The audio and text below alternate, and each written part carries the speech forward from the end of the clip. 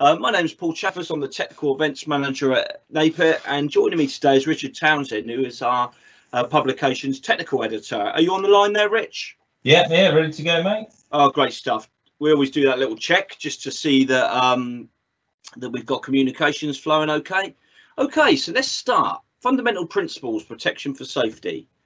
Now, when designing electrical uh, systems, the safety of persons, livestock and property is essential and the designer must consider all risks of danger that could arise in the electrical installation. So first of all, who is the designer? Now, on larger sites or larger companies, there probably is a designated designer, but for many of you guys, you do the design work, you do the construction and you do the testing and inspection. So if you're signing that on the test certificate, the designer is you. So hopefully you'll find this useful. Now, as we go through this presentation, I'm going to be talking a little bit about the um, level four designers qualification, the City & Guilds 2396 that we teach at NAPIT. Um, and I'm going to be sort of giving you some ideas on how you could approach that if you are interested. Um, it certainly sharpened my pencil when I done it a few years ago.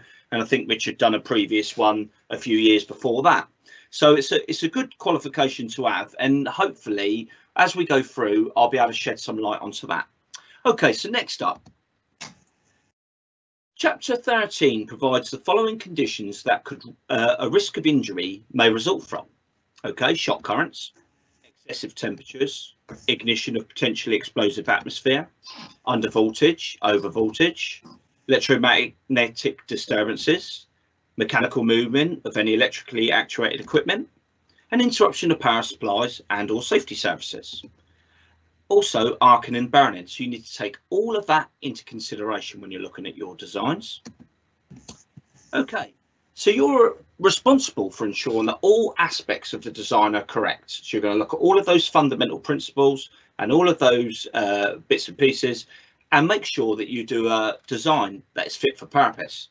Now, when you're designing for new installations, they're often easier than refurbishments. Okay, you can um, often you'll know what the intention of the building use is going to be for. You're going to know what type of clients are going to be in there, what kind of um, external influences are going to be present, and you're going to know what type of loads are in there, so that you can design the equipment to suit and make it sure that it's fit for purpose um, all the equipment's compatible because you're designing all those bits to work together. Alterations and additions to existing systems are more of a challenge for a designer. Often the original details and designs are missing, um, and there's always a desire to use as much of the existing as possible. Um, so you may be brought into, let's say, an old factory that's no longer being used as a factory, and they want to convert it to, let's say, a boys' um, club or a scout hut you're going to look at the building and you're going to say, well, I expect that the um, supplies are going to be adequate because of the, the use. You're going to be thinking, well, what type of clients are in here? Okay, well, we're going to have children in here, so I need to bear that in mind. They're going to be doing ball games. Well, the factory has got um, metal containment trunking, so that can stay. We may have to decommission some equipment, so we may need to adjust our phase loadings and things like that. But this is the kind of work that as designers we need to be able to understand. And it all starts off with making a assessment of general characteristics. So i'm going to bring richard in now who's just going to talk to you about assessment of general characteristics. Before we even consider what kind of circuit we've got what kind of load we've got we've got to look at general characteristics. And by general characteristics uh, chapter 30 says um, the installation characteristics should be considered. A few of them are, so uh, what's the installation going to be used for? We need to know what the installation is going to be used for. Some people and some of you guys are going to be designing for a building that's probably not even been built. It could be commercial, it could be industrial. So we need to know what kind of general structure it's going to be, what supplies are going to be in, what are we going to have a TT, a TNCS, PME, we're going to have an IT supply, is it going to be a data center, is it going to be any of these things? We have to look at any external influences. Where's it going to be? What's it going to be subjected to? Who's going to use it? How are they going to use it? How often are they going to use it? Compatibility of any of the equipment we use. So we need to make sure that the equipment we put in there doesn't affect any of the other stuff. Are there any issues with electromagnetic issues or any kind of influences there that could damage or or, or, or alter the ability of another piece of equipment to work properly? We need to look at CDM. How maintainable is it? Can we repair it? can we get up to do general maintenance? Do we need auxiliary systems in place? So we've got a really uh, important safety service that can't ever be knocked off, do we have to have a, a, second circuit or a second service that we can switch to, an auxiliary, while we repair the main or do some maintenance on the main? So all of these things the design's got to think about. All the recognised safety services. So different parts of the um, sort of the consumer marketplace will have different requirements for different safety services. So safety services in one might not be useful for another or might not be needed in another. So we've got to recognise all the different safety services, what the types are, what level they're going to be, what category they're going to be, how they're going to be installed. Now we're going to knit those into our future design. We've got to assess for a continuity of service. So does the power need to stay on all the time? Do certain areas of our installation have to stay on certain times? How long does that power need to stay on? Can we manage that with a UPS? How big is the UPS going to need to be? What sort of loading will be on that UPS? What sort of things do we need more than one? Do we need two? Do we need to have a standby generator? Are we going to use some kind of battery backup and storage system from a solar array uh, to give us our continuity of service so it could be seen to be more ecologically sound? So assessment of general, general characteristics, it's massive now. The part eights that um, 7671, uh, albeit an appendix, we've got to look at efficiency also. So if we just let Paul nip over onto the next slide. Okay, so once we've done the general characteristics, we've got to look at uh, the kind of things um, that we might need that could be uh, electrical, more in our ballpark sort of thing. So we need to know where our load centres are going to be. So where our distribution board's going to be, we're going to have one at the front. We're going to move them around, have two or three throughout our, in, our installation. If it's going to be a big install or a big um, commercial industrial site, what's the maximum demand of any of the systems and any standby systems? Because it's all having a main and then a standby, because at some points you need to have both systems up and running before you can knock the one off. So that means you've got twice the load suddenly appearing uh, before you knock one off. And that system's got to be able to be designed to take that extra load. Uh, what's the distribution system going to look like? What sort of protective devices am I going to use? Wiring systems, what type of cable am I going to use? I'm going to use armour. Uh, some scenarios require of MICC. Some require conduits, trunkings, cable trays. Do I need to use soft skin fire cables? All of these things. Am I going to have data cables I've got to keep separate? we've got to think about these things before we even get started. Uh, and when we get to types of protective devices, what's going to go at the front end? We're going to be thinking about um, uh, MCCBs, ACC, ACCBs, all of these things. So this is kind of the stuff we're going to be thinking about before we even get to put paper on pen. Uh, and I'll just ask over to Paul now, and he's going to go through load centres and distribution blocks diagrams, the kind of things that you should be doing early on in a design. Okay, thanks, Richard. Yeah, so I mentioned that um, I went through the process of sitting on the uh, designer's uh, course some years ago, and what it was basically is the project was for a petrol station that so it was all the forecourt, the car wash, the electric vehicle charging points, um, compressor, air tire, all those things. Then you had the canopy lighting, you had the uh, supplies to the pumps, and then on the inside of the building, there was a staff room, there was a shop, and there was a restaurant. So it was a fair size um, design to go through. And the City & Guilds, they split it up into to two or three different tasks. Um, I think it's A, B, and C, and then they're broken down to individual tasks within those. So they tell you what they want you to do. Um, and they'll ask you, so all the things like Richard said, they say design and show all your justifications for using a certain wiring type. Now, if I do it and I think, well, I want to use cable tray and I'm going to use soft skin cables because I've done an assessment for this, this and this, and I'm okay. It's like commercial, so I'm happy with with that. As long as you put all your justifications on the design, then uh, you're not um, you're not wrong. Richard may look at it, he may say, well, I'm not doing that. I'm going to use um, metal containment and I'm going to use single conductors inside there. As long as he does all of his um, trunking factors correctly and puts all of his um, different pieces on the um, design, the examiner can see that he's made the right justifications for his design. So this shows you that there's more than one way to skin a cat, and it's down to the designer to be able to make the correct assumptions and the correct designs. But the project is quite daunting because you think, well, where do I start? So you may think, well, my drawing shows me all of the loads I've got in my kitchen. So I'll start designing my kitchen circuits. Okay.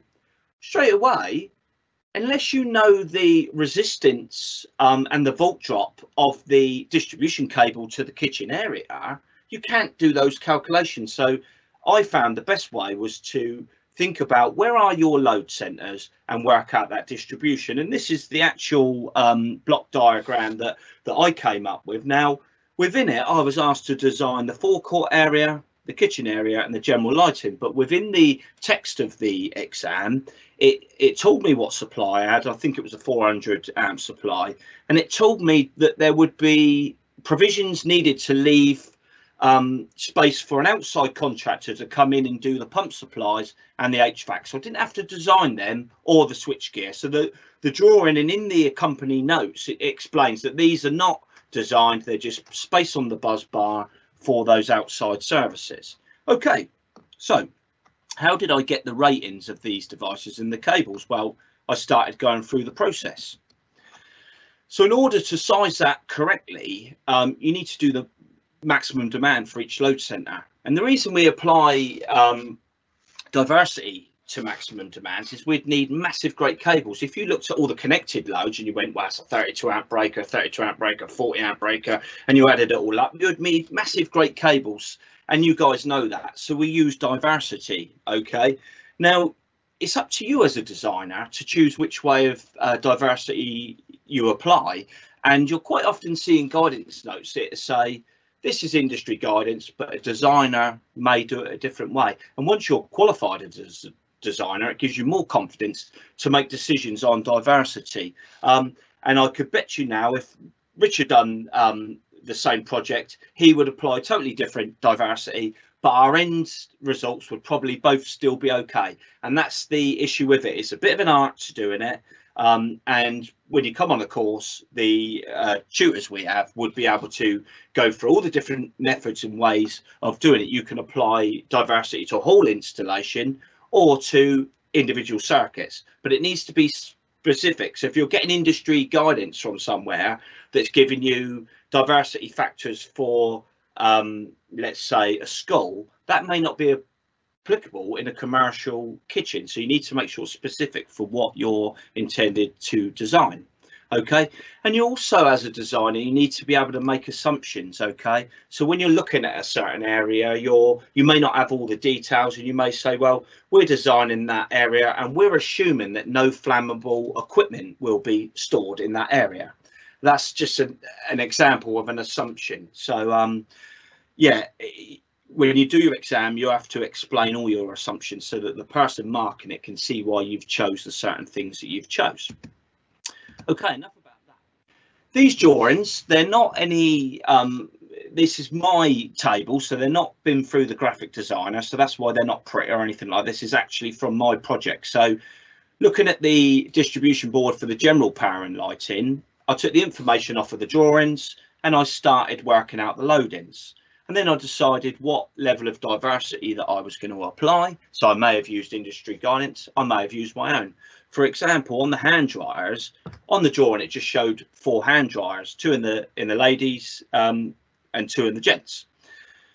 No information, so I decided that I was going to use Dyson. I looked up the power ratings, and then I decided that it was possible that only three out of the four would be working at any one time. So that was the assumption and the level of diversity that I applied. Okay, from that we can work out all of our kilowatt ratings and what our amps are. Okay, then what we can do is we can make a chart for the distribution board and we can look at balancing the phases. Um, you guys are probably aware that any um, you know current returns in the neutral on a three phase supply and you want to try and get your um, you know any out of balance current you want to try and get your phases as balanced as you can Now, as part of the project, it may ask you to calculate the neutral current, in which case you might have to learn how to map that out. Um, I remember doing it college years ago. You got your 120 uh, degrees between phases, and then you would map it out to scale what your currents were and and and plot what the neutral current was. I don't think I was asked to do that. So my assumption was I'll balance my phases to reduce um, my neutral currents, and I think um, you know that that was good enough. So once you've done that for each distribution board, you can then make a table to say what all throughout the installation, what all the phases are going to be balanced, and then you can start looking at, um, you know, your front end. Okay, so once you've identified all that, you'll know the total installation KVA demand. You'll know where all your loads are. Okay, as Richard alluded to earlier, you need to think about what equipment's in there is there any startup inrush currents? I think when I done mine, I possibly allowed for that on the car wash. Um, so I'll probably choose a type C or a D circuit breaker. So straight away, that's going to change the size of the cable in, in one foul swoop. So you need to know all of this before you starting to put the pen to paper, as Richard said. You need to look at your power factors. Okay. If you've got the equipment power factor, you can design it much more accurate. Otherwise, you have to use um, sort of factors to account for that. We used to use um, 1.8 as a as a factor for discharge lighting. So you would look at your discharge lighting and you would say, okay, it's uh, you know so many watts. I times that by 1.8, so you'd get this massive jump in what your load was to allow for you know power factor and efficiency. Obviously if you're doing that on all your cables you're going to have massive cables. So part of the project is to start choosing the switch gear and that's one of the tasks. It asks you to choose all of your lighting and all of your equipment and in doing that you get the manufacturer's brochures and you make reference to those and you use the information for efficiency and power factor in the calculations um, which you know all goes towards passing the exam basically. Okay, so once you've uh, done all that, you're in a position to arrange the income and supply. Now, for the project, they tell you what that is, but if you're on a, a site that's being built from scratch, the supply company may want to agree tariffs with you and what size of supply you need. So you need to work out what all your load centers are before you can have that conversation. So then finally, once you've done all of that, you're now in a position to start looking at the cable calculation. So what I'm going to do is I'm going to hand over to Richard here, who's going to start talking to you about the process of cable calculations. Hello, Richard, are you there? Uh, yeah, I'm muting issues. Right, so before we even start to worry about the cable calculation, there's a few of the things we need to uh, take a look at. We need to look at supply characteristics. You see, if we're going to design a circuit and we're going to put our new installation together, it could be a standalone factory unit somewhere, uh, and you could have a socket circuit. By the time it's reached its endpoint, it could be 70 or 80 or 100 meters from our incoming supply. Well, that's going to play havoc with our max ZS requirements from 7671. So we need to look at uh, DNOs, our supplier and go to the supplier and say, right, you're going to fit this supply to this building. What are you going to give me? And they may say, well, I will give you a transformer and we'll put the transformer here. Okay, what's my uh, what's my ZE going to be? Uh, we can give you um, 0.1 at this point and 0.2 at this point, or if it's over here, you'll get 0.35, or we can put it right on your doorstep uh, and you can have uh, 0.04. Um, and you may say, well, um, I actually want control of the transformer, so I'll roll that into my price and we'll own the transformer and do the maintenance on it so that we can have it very, very close to us, almost on our doorstep, so that we can have some uh, external impedances uh, of the order 0.01. That's extremely important because when we start looking at switching requirements to switch the entire installation off on, uh, if it's a big installation, we may well be using an ACCB uh, or an MCCB or variations of different types of those. Now, by definition, those uh, pieces of equipment will switch big loads. Uh, they'll handle big loads, um, but they require very, very small impedances um, to operate and to disconnect. So it's no good talking half an ohm when you've got an, a, an air circuit breaker uh, an ACCB because that will require something like 0.001 or 0.01 something ridiculously low. So we need to make sure that the supply that's coming in uh, can function or, or allow our switching equipment to function correctly. So then we start looking at load characteristics. Okay, how are we going to split our loads up? We need to balance our load. We need to make sure that it's all not just dumped on one phase or we haven't just got um, lots and lots of inrush currents, as Paul said, and then it all dies away, or we haven't catered for that. What's the wiring system going to be? Okay, I'm going to put it in trunking, I'm going to put it in conduit. Putting it in conduit, I've got to think about some grouping factors and some thermal issues. Uh, is it going to be buried in the wall? Thermal issues. Uh, is it going to be clip direct? Uh, free air, that's okay. Um, mechanical issues, forklift trucks, if it's that kind of environment. All these things we've got to think about. What kind of cable? I mentioned earlier that certain tenders call for certain types of cable. So uh, is it an environment where we'll need to use MIC? Uh, can we get away with soft cable? Uh, as the client said, it should be in a conduit. So all of the installation reference reference methods are just spoken about. We've not to, we've got to look at them again. So again, we're now getting into the territory where having a detailed conversation with our client because it's not very uh, it's not an easy process to design a big installation. We've also got to kind of look at uh, drop constraints. Okay, so from a volt drop constraint scenario, there are requirements in uh, 7671, which we'll talk about uh, a bit later on. But for now, let's just remember we'll talk about volt drop constraints later on, and also keep in mind that if we've got control of our um, transformer, we have a few tricks up our sleeve to help with the design, which kind of outweighs possibly the extra cost of it. So Paul can come forward. So if we go through a cable calculation process, look at our first three steps. We need to know what our design current is going to be for each circuit. We'll break it down by circuit. I know we've been talking about the entire installation, but now we've got to start somewhere. So we're going to look at one circuit. Okay, we need to know the design current. What are we going to do? Is it a single phase circuit? Okay, that's basic. Ohm's law, uh, that's watts over volts gives us our design current. No problem there. If it's a three phase system, we're going to put root 3 in there, give us our three-phase uh, design characteristic for a unity power factor installation. Uh, if we've got a three-phase installation and we're using power factor efficiency um, uh, equipment to try and get our power factor to the most efficient, economical it can be, we've got to add that in as well. We've now got to select the type and current rating of our over current protective device. So we've then got our design current we've sort of picked our um, device because at this stage we're roughly picking things. We're not saying it will be this because it may not be. We may need to change it and that will become apparent later on. We've then got to apply uh, relevant correction factors to obtain our tabulated current. So each cable has got a tabulated uh, maximum current and that can be altered by reference methods, its ability to dissipate heat, and all of the different things we put through it. Uh, things like, um, uh, there we go, Paul's popped it up. So IT, our tabulated current carrying capacity. So that's in the table we'll talk about later.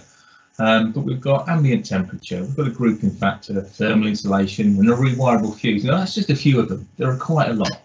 And on the top there, we've got our rated current or setting of our protective device. Uh, and our tabulated current carrying capacity has to be greater than that formula there. Okay, so when we break that down a little bit further, we've got a basic circuit there. We've put a 3036 fuse in there uh, simply because lots of commercial industrial uh, installations still use them. You can still buy them, and in certain scenarios, you can still install to them. So we've got to calculate a factor, a few factors in. And we've put in there, now this is out of on-site solutions, and we've included the different factors uh, of thermal efficiency, ambient temperature, grouping factors, and our 3036. So what we've done in our formula at the top is taken the two most onerous. So we've taken the two that give us the biggest uh, threat, if you like. So we look at ambient temperature and 3036 fuse to get our IT. So once we've got our IT, we can then start looking at the tables in 7671. So, um, so sorry, sorry, Rich, to uh, slip of the tongue there, mate. We're, we're using the thermal insulation uh, factor 0.5 there. Sorry, Just- I was away. Yeah, sorry, I was looking at a different. I was thinking, no, no, no worries, mate. No worries. no worries. There we go.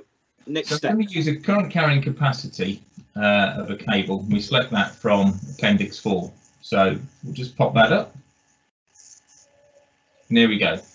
So if we've got, for argument's sake, uh, a requirement for 20 amps, and it's going to be uh, clip direct, reference method C, uh, it's a, a one core cable, we need, say, 20 amps.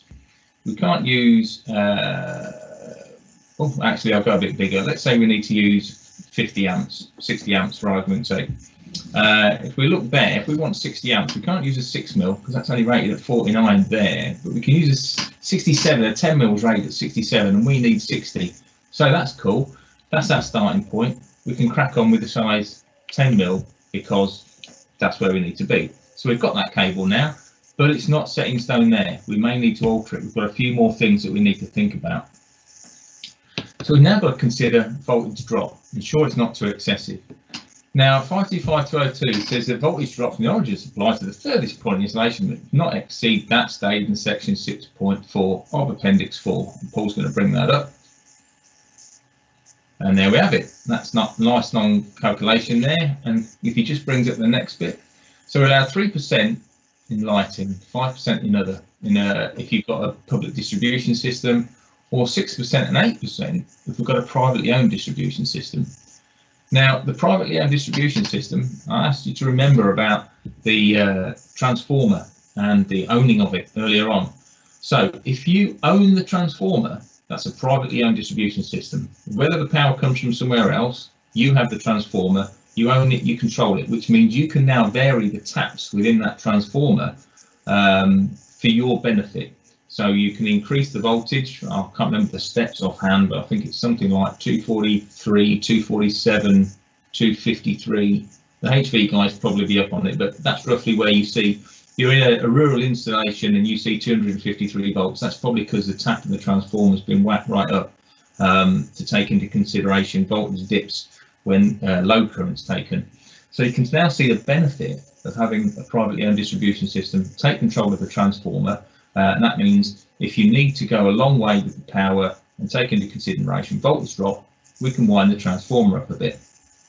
We've also got to take into account that it's not about that. Um, we've got to look at the equipment that we use. So if you're the designer uh, and you want to deviate from the beaten path and say, well, the equipment I'm using has been confirmed by the manufacturer to operate at 3%, is that below the 3%, which essentially gives me 6%.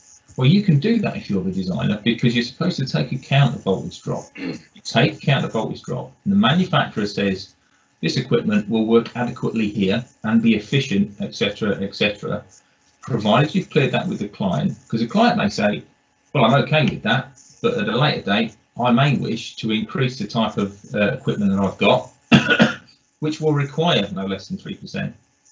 So again, we're getting into a design stage where it's not straightforward. There's a lot to think about. Okay, so moving on. Okay, thanks, Rich. Um, yeah, just whilst we're on the voltage drop there, we uh, sort of top tip that we gave in the on-site solutions was to rearrange that formula uh, um, as a good place to start. Because what I found when I started getting into cable calcs years ago is that you go through all that process of putting all your factors on, go into your your your correct cable. Yeah, that's fine. Only for it to fall down on voltage drop. So if you rearrange the um, formula to find out what your uh, millivolt amp per meter is required, then you can go straight to the correct cable. You still got to do all the other checks, but it saves a lot of trial and error.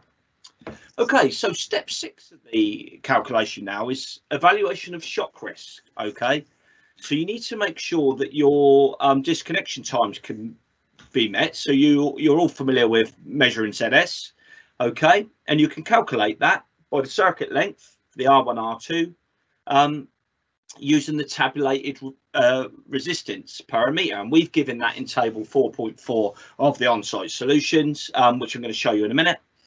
Okay, and then you add that to your ZE. So Richard talked earlier about the essential part. You need that ZE to be able to do your full calculation. Okay, and then you can check that against the max uh, loop impedance uh, tables in 41.2 to 41.4 of the regs. Okay. Here's the table that we've got in the uh, publication, and this is in ohms per kilometre. Okay, and it's at 20 degrees, so that's important things. That is okay. Um, and a quick example: if you was to work out what your um, R1, R2 value is of a 20 metre twin and a half, um, I'm sure you've all done this. You'll get 20 metres times the 2.5, which is 7.41 and add that to 20 meters of the 1.5 okay? So that gives us that. And because it's in kilometers we need to divide it by a thousand to put it into ohms. Brilliant. So we now know what the r1 r2 is. But remember i said it's at 20 degrees okay? When we design we need to um, design for what the maximum operating temperature of a cable is okay? So when it's working under load we need to arrange for that. So for a a cable that's incorporated in in um, a cable, you know, the conductor's incorporated in a cable or bunched, you use a factor of 1.2 as the multiplier. So you add that, you times the R1, R2 by 1.2, okay? Add it to your ZE, and then you have your design ZS, okay? Remember, at this stage, you're sitting there with scale drawings, or you're on site with a drawing. There's nothing to measure. You've got to do it all by calculation, okay? So you need that design ZS to go on to your next step. Okay. And you're going to be looking at in the next step the evaluation of thermal risks to conductors. Okay. And we start with looking at the CPC. Okay. So we can use the Adiabatic equation for size the CPC, or we can use table 54.7 in the regs for, uh, for sizing. Now the adiabatic equation, um, it's quite simply to go through it. S is our is the cable conductor size. Um, I is the fault current, okay, where the device operates at. T is the operating time of the device. So you need to be aware that's not where people say, oh, it's a distribution circuit, I've got so many seconds, or it's a 0.4. This is the actual time that the um, device operates in, okay? And you get that from the uh, time current curvature charts in the regs. So you know your fault current, you can find out exactly when the device is going to operate, okay? Now you're probably thinking, well, how did you get your fault current? Well, remember we've just calculated the um, design ZS, we can now use Ohm's law. We know what the voltage is, we know what the resistance is, we can work out what the current is. Okay, so quite simply, it's the current squared times um, the, the time that you've got off of the curvature chart, and then it's the square root of that. So it's only the top line, it's the square root of I squared T, then divided by K, which is the factor which takes into account the, uh, the conductor material and the temperature coefficients, etc. Okay, if that's too much trouble, you can use um, the table out of the regs, and we've represented that in the solutions uh, publication in table uh, 4.5. But what you can see is it leads to much bigger conductors, okay? So where the protective conductor and the line conductor are the same, okay, you would need the same size. Okay, so where S is less or equal to a 16 mil in this column, you'd need the same size. So in many cases, you may want a 16 mil line conductor for the load. You're not necessarily going to need a 16 mil for the earth. And if you use that table for a, complete installation, you wouldn't get the job because you'd be too expensive because your cables would be way oversized. So it's an okay table to use and to make reference to, but really and truthfully, the adiabatic equation from a designer's point of view is the way that you would go. Then next up, you're still looking at the thermal aspects of the cables now, but we're looking after considering the adiabatic equation for our faults, we need to check the cable regarding short circuit current. So if we have a, a, a, low impedance fault where the say the line and neutral are shorted together, we need to make sure that the energy let through um, that comes through the protective device, um, you know, it doesn't damage the cable. So under fault conditions, the time in which it takes the protective device to operate is known as the pre-arcing time. And after the cutoff point is reached, the arc begins to extinguish. But during the pre-arcing time, the electrical energy is passed through into the conductors. Okay, this is known as the pre-arcing let-through energy. So in the regs, 43452 requires that fault currents of short durations in any point of the circuit is interrupted before the permitted limited temperature of any conductor or cable is exceeded. Okay, and for our standard devices there, the 60898s and the 61009s, um, it can be checked by ensuring that the withstand energy of the cable, which is the K squared S squared, is greater than the let through energy of the protected device, which is the I squared T squared. Okay, so you can start looking at that adiabatic equation and rearranging things and getting those values and checking that that is met. Okay.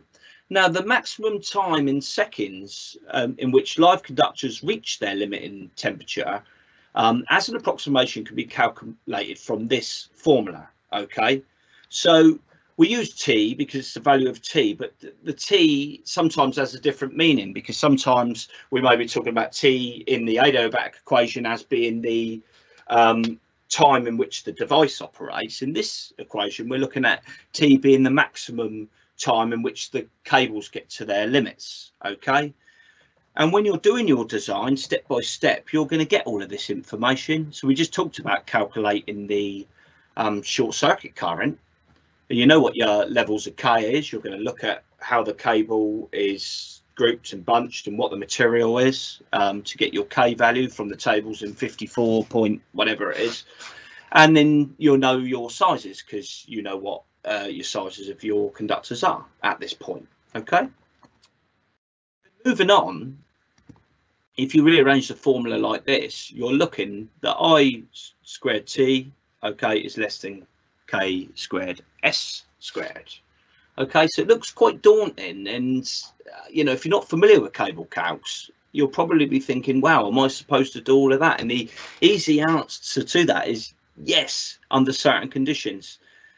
We all know that standards, domestic um, calculations have been done in some publications over the years. Standard circuits in small situations may be acceptable and experienced contractors know them so they know that I use this cable size on that and there's not too many checks but if you get asked to supply a workshop down the bottom of a long garden or a, or a stable block or something like that straight away you've got to go through this whole process and this is what we're we're talking about okay and for energy let through you can use manufacturer's data so let's get an example of how that works up on the screen again this is all covered in the publication so we're looking at the energy withstand of the cable, which is the K squared S squared. Okay, it's the thermal capacity of the cable. And what we've got here is the designer, he's looking at um, a commercial installation where they're using a four mil twin and earth um, up on trays to feed these type of fittings, which are going to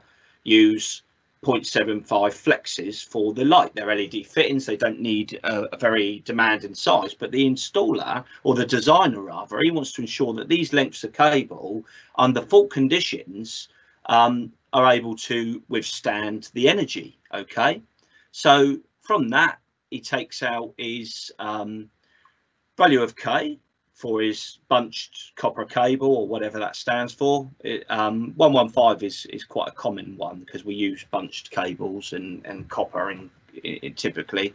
And he's took the cable that he's checking here uh, as this size and it gives him 7,439 amps per square second, right? Go to the manufacturer's data, look at the prospective fault current. This is the calculated prospective fault current, which I explained earlier. So similar to the um, R1, R2, you can do your resistance of your line and your resistance of your neutral, okay, to get that resistance. And then you can work out your fault current. You got 1500 fault current, you put it on your manufacturer's data chart. And this is the energy let through here, this here. So the more um, the more fault current we have, the more let through energy comes through the device into the conductor. So at 1500 amps, uh, 1500 amps, yeah, 1.5 kA up, plot it across, and there's little lines on here. They're pretty hard to see on the screen actually, but that there is 4 Ka squared per second of energy let through. So we know that we're okay because our calculation showed us that the cable can handle 7,439 and we've only got four. So that's job done. Okay, so a little bit about the exam now. Um, I've got my project here somewhere. This is kind of what it amounts to. Um, I can't see my picture, so I'm hoping that um, it's coming through to you. Okay, I'm not going to show you any great detail, but to show you what a, a calculation process that we've just discussed, me and Richard have just gone through. I'm just going to pull one at random here. Okay. One of our um, senior lecturers was kind enough to give me this on the course actually. It was a little sheet to work through. So you put in all your circuit details and you go through your design IB, what what um, what factors you're going to apply. Then you start to calculate the cable size, okay, and then you're looking at your voltage drop, and you can and you can put all those figures down there. Then on the other side, you work out all your short circuit conditions, all that um, k squared, s squared stuff to check that you've complied. Then you come over to here and you work out what your um, short circuit and fault currents are. You do your adiabatic equations, and then from the whole sheet, you can calculate what uh, cable size is required. And for the project that I done, there was um, possibly 50 or 60 of those to do. Okay. And then in the project, worth pointing out here, Paul, worth pointing out that if you work your way through that longhand, uh, it's generally 45 minutes to an hour to do a calculation from scratch, long, longhand like that. Uh, and, and that's not an exaggeration. Well, to get to the end of it and think, oh, I've got to the same cable size and start again. This is the purpose of the project. Um, the project steps it down to go through all the areas of design. So you'll put all your choices and justifications in, and you'll be telling the um, instructor just how to do it. Um, you've got your scale drawings in there, which I'm not going to show you because they're City & Guilds. All of all of your wiring systems you're going to use, and by the time you've done your project, you get up to two years to do it. It makes you very competent at going through this process. Now, some of you may be well competent to do it, but I can remember from my days of contracting, there's many contractors that just go in the wholesaler and they go, "Oh, I need that load. I'll give me a 10 mil and um, some clips." And and really and truthfully, this going from a level three to a level four is what takes you to that next level when it comes to design. You need to have very, very good knowledge of test and inspection, which you all have anyway, because you've all set a level three qualification. Okay, so when you look at the um, the whole thing is a process. So the design folders like that. I've seen thicker ones. I had to do mine just in what I could do to get it done in the time. Um, the best way to approach it is my tip, and is and, and certainly please the examiners that marked it is each of the tasks will be given a number, label each section. Because if you just dive in and start putting all the information in, they never find it. So if you get a task, um, I've got task uh, B2 here, and B2 is luminaires, reason for choice. So uh, there would have been a task B2, it would have said list all your luminaires and your reason for choice. So you label it up, the examiner can go for it, and straight away I've got perimeter lighting, all the details, forecourt pumps and canopy lighting assumptions, and that's where you list it all down. So it's a really good thing to, to get involved in. I will warn you though, the written exam is a monster. If you've ever taken a 2391 written exam, which many of you guys will, you may have done equivalents but back in the day i can remember thinking you know just how involved the 2391 level 3 was. This is like that but on steroids. It's 10 questions um, and then they're broken down into bits. You get you're allowed to use your regs book but you get marked badly if you copy from the regs book. So you've got to learn how to take information and how to um, project it in your own words um, i think at least two of the questions are cable calculations. So my tip would be when you go on a course, um, reject the exam if they offer it to you straight away. Reject that um, unless you want to take it as a warm up, reject it because you can do that. Get on with your project, and then once you've got your teeth into your project, take the exam. And then when you get those cable calculations, you'll get two questions. Remember, it's three hours, 10 questions. As uh, doing the maths, it's probably about 18 minutes or so per question. It sounds like a long time, but they're big old questions. So when you get those cable calc um, questions, you'll be straight to the tables because you would have just learned the process. So when it says you've got a stately home in your design, they put all this stuff in there to sort of blow your mind, and you're going to design this, this, and this, the ambient temperatures, that. The cable's going to be underground between here and here. Straight away, you've got to be knowing those formulas ambient temperature, CA, right, where's that table? Boom, boom. So, my tip is to get into the project so that you um, so that you are up to speed with that. And for the remainder of the questions, it's about the whole process. So what we talked about right at the beginning, if you're asked to design something, go for all of those risks at the beginning, go for all of those characteristics, what type of people are on there, what's the mechanical protection, what's the IP ratings that are needed, what types of RCDs, and explain it to the examiner. I'm on a caravan pitch we're likely to use a TT because you know PME is forbidden. You've not copied the regs, but you've told him why you've chose TT.